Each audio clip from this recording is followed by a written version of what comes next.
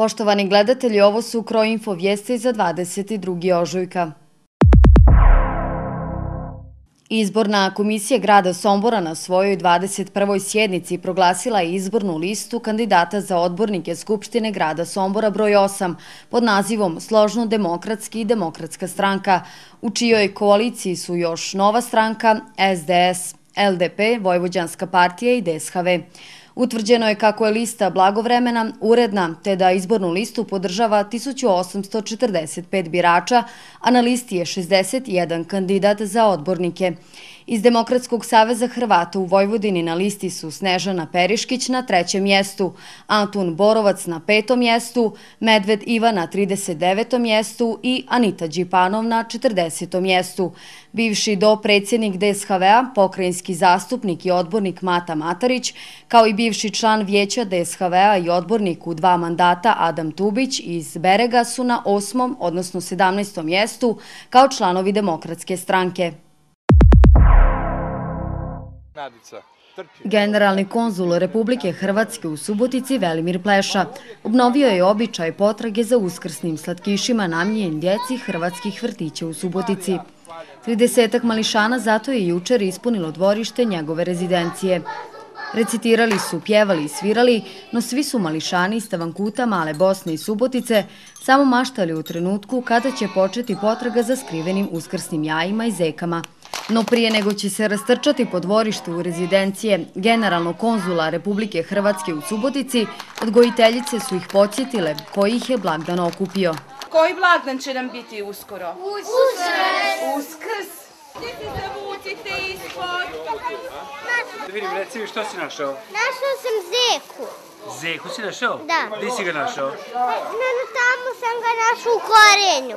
Ovo je samo jedan mali poklon e, onima koji su najmanji, a jesu u ovoj hrvatskoj zajednici i koliko bitni, jer e, odgoj njihov u duhu i kršćanskom, katoličkom, ali i u duhu hrvatstva svakako pomaže da imamo nekakvu sigurnost da ćemo i u budućnosti ovdje čuti lijepu riječ ili rič i da će e, ovo biti vrlo, vrlo e, napredan kraj kad su u pitanju Hrvati. Ja se tome toplo nadam, zato smo ovdje.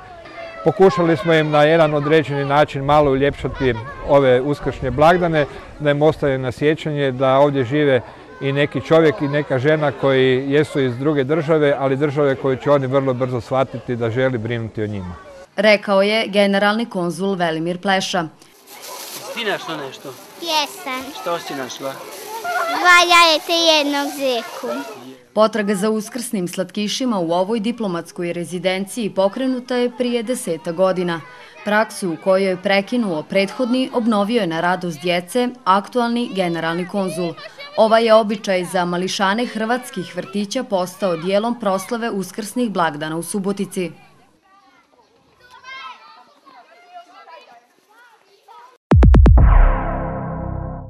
Na 30. redovitoj sjednici Hrvatskog nacionalnog vijeća vijećnici su bez veće rasprave usvojili izvješće revizora o prihodima i rashodima HNV-a za 2015. godinu.